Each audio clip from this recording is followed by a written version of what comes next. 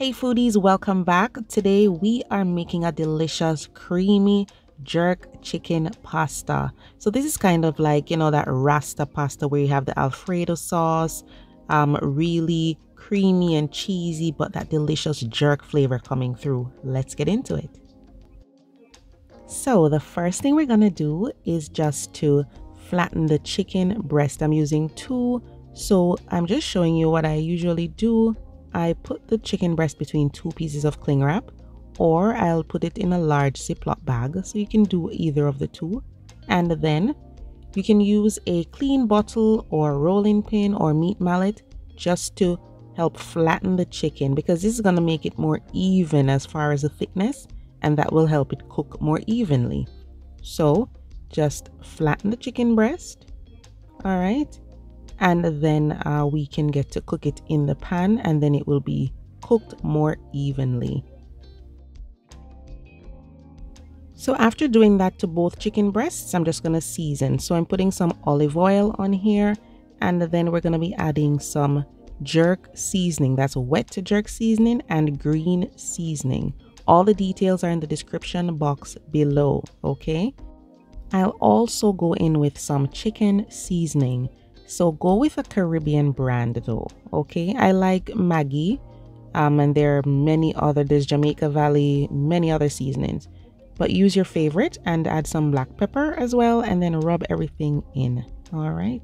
Just rub it into every single crevice. I also decided to add some sweet paprika, okay? So that gives it just a little bit of color and some more flavor as well. And then this can be marinated overnight but if you want to do it the same day, try to marinate it for at least an hour. That really helps, okay? So we're going to get a pan and this is over medium heat. The oil is hot and we're just going to cook the chicken breasts on both sides. So you can do about three minutes on each side, okay? Try not to overcook it. Three minutes on each side, I mean three to four is usually good enough. Remember that I flattened the chicken breast, so that really helps. If you did not do that, then you might need to cook your chicken breast a little longer. Once you flip it over, you'll see that beautiful jerk seasoning coming through. Wonderful color.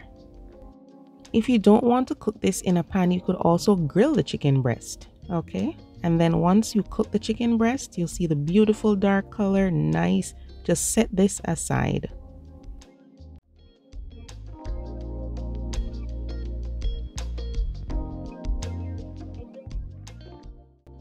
While the chicken breast rests, then you can cook the pasta. Just follow the instructions on the packaging. I'm cooking some penne pasta. Usually about 7 to 8 minutes is good, depending on the brand that you're using. So check the instructions and just boil your choice of pasta. So that same pan we used to cook the chicken, we're just gonna add some unsalted butter. I prefer unsalted because then you can control the saltiness of your dish.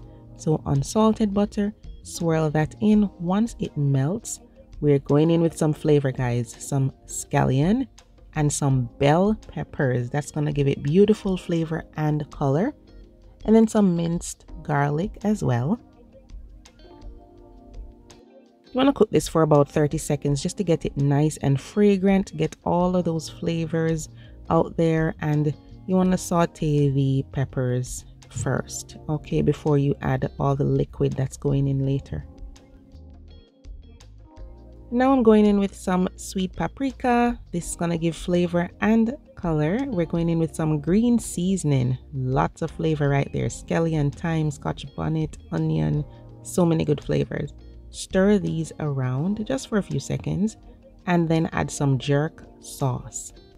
If you don't have jerk sauce, then you can add a little jerk seasoning. Okay, but I like the jerk sauce for this step because it's a little smoother for the sauce we're making.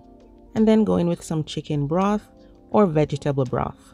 If you can't find any, then you can just mix a bouillon with some hot water or even a ramen uh, chicken packet. The, you know, the seasoning packet that you get, you can mix it with some water. And then we're going to stir in the whipping cream. I'm using whipping cream because it's very rich and thicker than just plain milk. You could use heavy cream as well. However, if you can't find any of those, then you can try evaporated milk. Now we're going to be seasoning this, of course, so we will add some black pepper here and we'll also go in with some of my favorite um, chicken seasoning. You can use your favorite. Just make sure it's a Caribbean flavor or you can use seasoned salt if you prefer. Just be careful with that because some of these brands, the seasonings are very salty. Okay. So I can see all those bubbles coming up. So I'm to start adding the cheese now, guys. So this is my Parmesan cheese.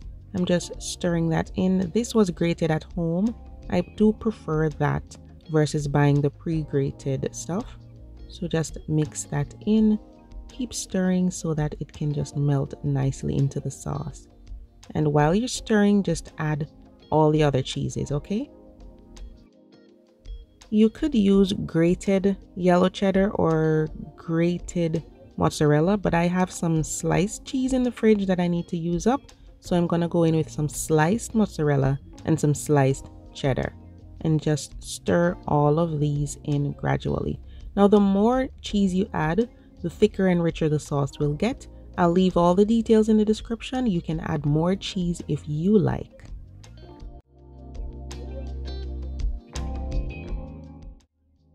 Leave the sauce over low heat and then slice up the chicken. You could do cubes you could dice it, you could cut it in strips, do whatever you prefer, okay? But just cut it up so that you can toss some of it in the pasta or you could serve it on top of the pasta, all right? So the plate that the chicken was resting in, guys, just pour off all that juice into the sauce and taste the sauce to see if you need any added seasoning. Okay, once it's seasoned to perfection, toss in that pasta and just give it a good stir. The starches of the pasta are also gonna add to the thickness of the sauce. So don't go overboard with the cheese trying to make it super thick. Okay, it'll be just fine. and then you can just toss in as many pieces of chicken as you like. Guys this is so flavorful. If you've tried my shrimp rasta pasta you're definitely gonna love this. And you can add a sprinkle of fresh parsley if you like. And that's it. Absolutely delicious. It's super creamy but flavorful and you get that heat as well which you can control by adding less or more jerk seasoning it's really tasty just like this, but you could also slice up the chicken and put it right on top. Absolutely amazing, guys.